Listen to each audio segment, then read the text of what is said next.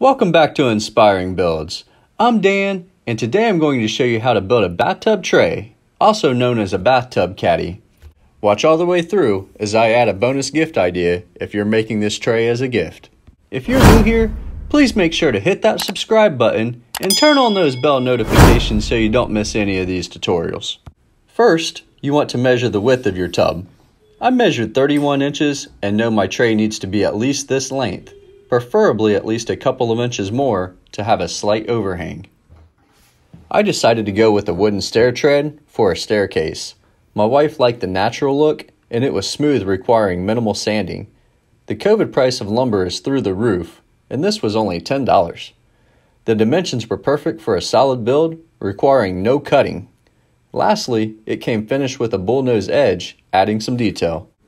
Next, I cut two 7-inch sections for the legs using 1x2 lumber. Ensure to wear safety glasses and ear protection when using a miter saw.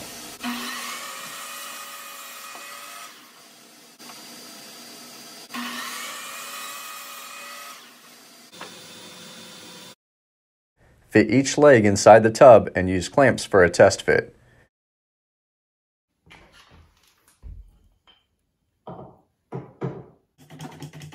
Once you have each side clamped down, test the fit by sliding the tray to ensure it doesn't slide out.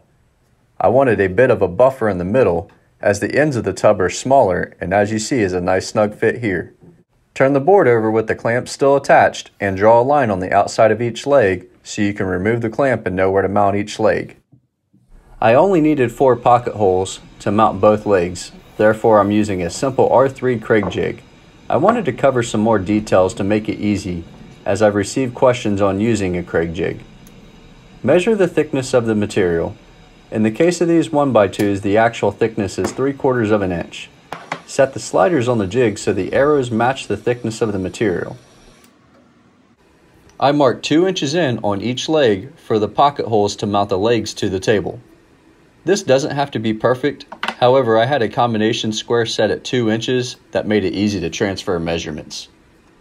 Align the line on the jig with the line marked on the legs and clamp down the jig flush against the material.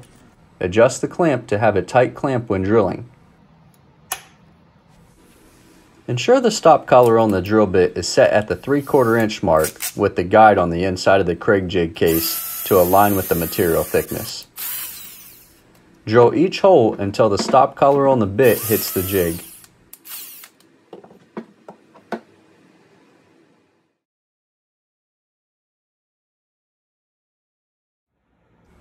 Use the chart to determine what size screw you need to use.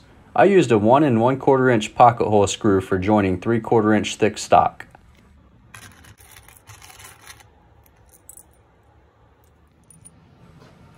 Earlier we marked a line to determine where to place the legs. I marked 6 inches in on each side and ensure the marks were square. Place the legs on the marked lines and clamp them down. I placed each screw in the pocket hole and then drilled each one. You can use other options such as glue and brad nails that would be sufficient as well.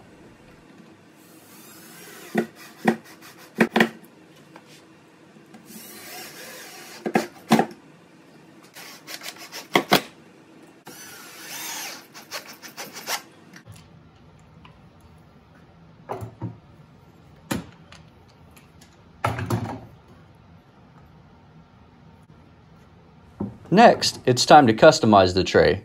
I used a 5 8 inch straight router bit for the cell phone slot. I strongly recommend practicing on scrap lumber like I did to make a straight line and clean cut. I wanted to test for the right bit size and depth so the phone would be sturdy without needing any other support. I marked a line 2 inches in that was 8 inches long, centering it on the board to allow plenty of room for a phone. I double checked that I had 14 inches of space on each side of the line to the end of the board to ensure it was centered. I used a plunge router with the edge guide to get a nice straight line. With taking out a half inch deep of material, I made multiple passes with the router. I strongly recommend at least two passes to yield a clean result. I thought I was doing well until I questioned why the dust collection was not working well at all and I could barely see in the window of the router. I then realized the dust collection works better when it's turned on.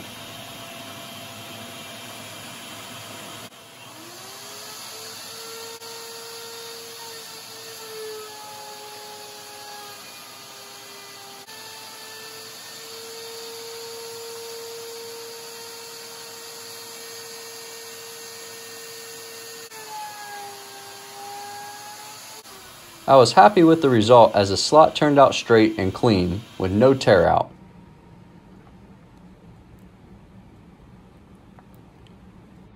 I checked the glasses being used for drinks and tested that it would fit in a 3 inch hole.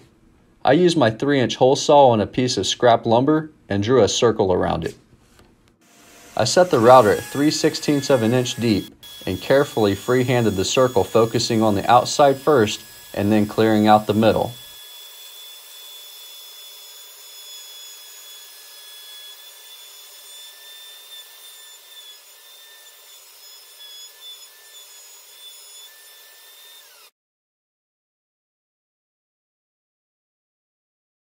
My initial thought was to do two small votive candles on each side, but my wife prefers using one large candle that also fit in the 3 inch size of the drink holder. I had to keep telling myself, this build isn't for me, and customize it for my wife's preference. I recommend drawing a dark circle so you can clearly see in the router window. I sanded the tray with 220 grit sandpaper on all sides for a super smooth finish, as well as filled and sanded the holes for the legs which isn't necessary as they are hidden underneath. The tray should stay pretty dry for the most part, but I wanted to protect it. I used Varathane water-based polyurethane in a matte finish and used a foam applicator to apply it. The thought process with this selection was to try to keep the original look as much as possible. When applying this polyurethane, it will appear to go on milky white, but it will dry clear. I applied three coats and sanded between each coat with 220 grit sandpaper.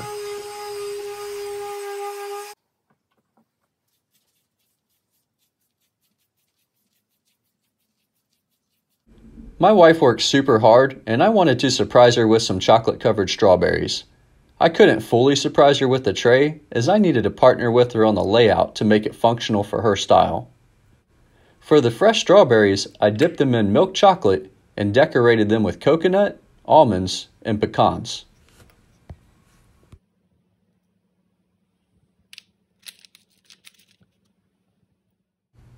I really appreciate you watching. If you like this video, I have another one queued up for you in the corner that you'd probably like as well. Please subscribe to the channel if you haven't already.